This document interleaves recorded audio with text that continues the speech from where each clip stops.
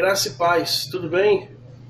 Olha só, semana difícil para mim, semana que eu fiquei resfriado, fiquei de cama, fiz febre, mas graças a Deus estou me sentindo bem melhor, 95%.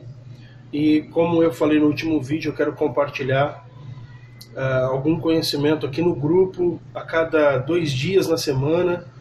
Eu quero trazer algum vídeo curtinho, trazendo algum compartilhamento sobre pregação.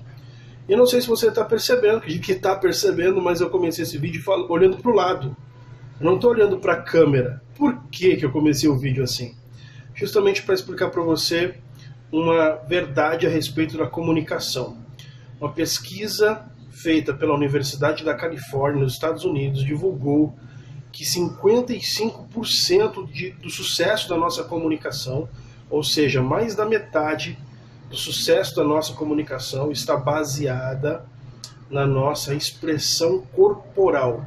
O como nós expressamos corporalmente aquilo que estamos comunicando. Isso é muito sério.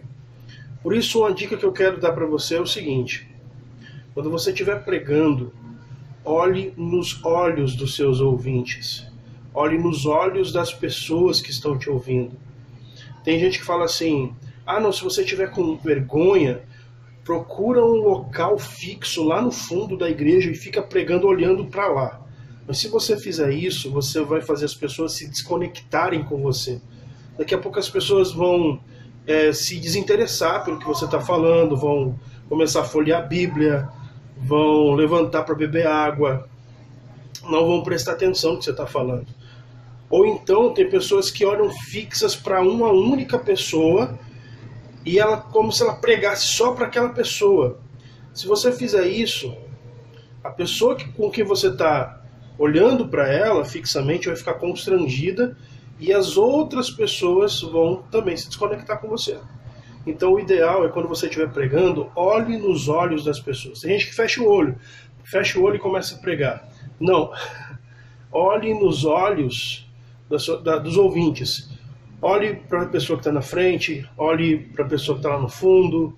Vá olhando um por um, um por um. As pessoas que estão à sua direita, as pessoas que estão à sua esquerda, olhe para as pessoas que estão atrás de você, caso tenha alguém atrás de você. Então, vá se comunicando, olhando nos olhos das pessoas enquanto você estiver pregando. Isso é só um ponto da nossa expressão corporal. Ok? Deus te abençoe. Essa próxima semana, mais dois vídeos curtos aqui no grupo, formando pregadores, trazendo alguma sacada, algum conhecimento sobre pregação. Então, ótima semana, uma feliz Páscoa, graça e paz.